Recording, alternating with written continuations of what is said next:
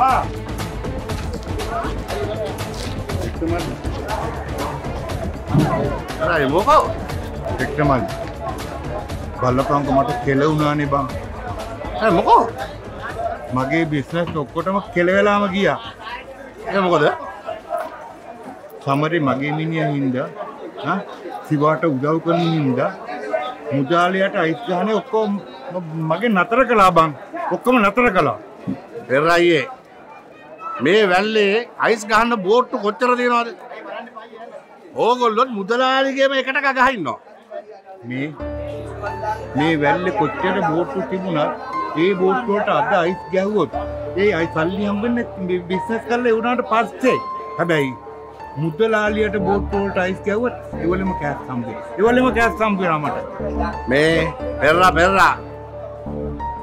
ඉදිරියේදී මේ වැල්ලේ ලොකු ලොකු වෙනස්කම් ටිකක් එනවා. මුදලාලියා පොට්ට අවලංගු කාසිය බවට පත් වෙනවා. එතකන් ටිකක් ඇදගෙන යන්. ඈ ඇදගෙන යන්න. ඔව්. මම ඔබට කිව්වා කියලා හිතාගනි. ඉතින් මෙන්න මේ වරන් යන්න